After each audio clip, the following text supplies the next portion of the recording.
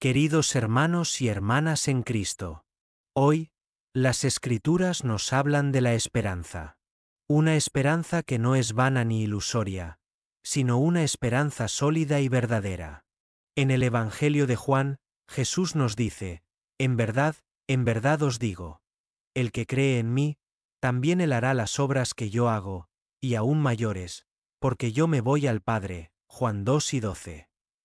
Estas palabras nos llenan de esperanza y nos recuerdan que, como discípulos de Cristo, estamos llamados a continuar su obra en el mundo.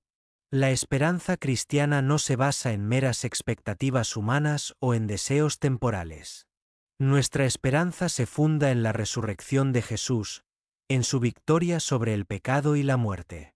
San Pablo nos dice en su carta a los romanos, la esperanza no defrauda, porque el amor de Dios ha sido derramado en nuestros corazones por el Espíritu Santo que se nos ha dado. Romanos 5, 5.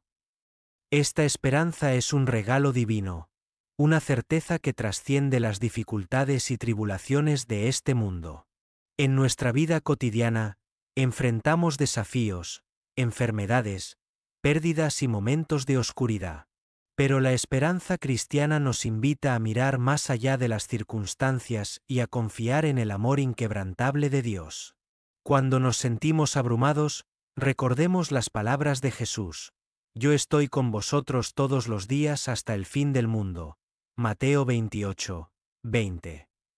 Él está con nosotros en nuestras alegrías y tristezas, en nuestras luchas y victorias. Hermanos y hermanas, compartamos esta esperanza con los demás. En un mundo lleno de ansiedad y miedo, seamos portadores de la esperanza que no defrauda.